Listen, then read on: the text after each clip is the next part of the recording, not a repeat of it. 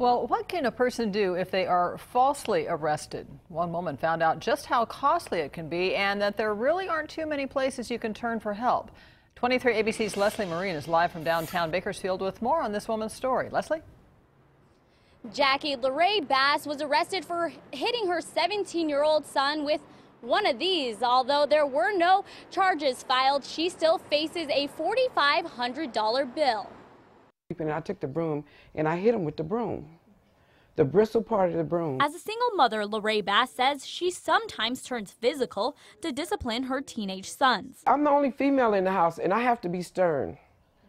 If I'm not stern, they will run over me. But it was on August 27th of last year where an argument turned into more. The police came out and um, he explained to them, you know, what I had done, that I had hit him with the broom, and they asked me, did I do it? And I said, yes, I did hit him with the broom.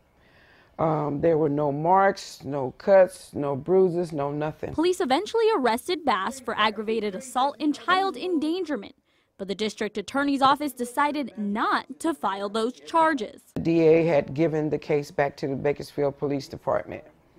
And they did this because the DA said they didn't have a case. Although the retired corrections officer may be free, she's still left with a bail debt of $4,500. And I work part time now and I have my pension, but that's all I have to live on.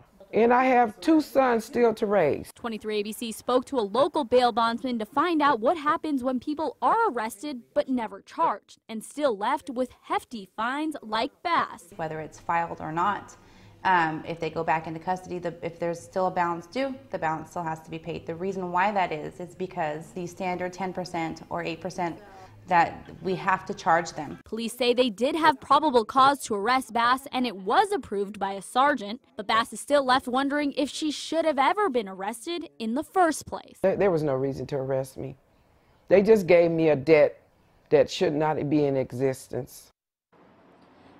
Bass had reached out to Aladdin Bail Bonds to get help. We reached out to them but have not received a call back. Police told me they don't believe they'll be sending this case up to the district attorney's office anytime soon. Back to you guys.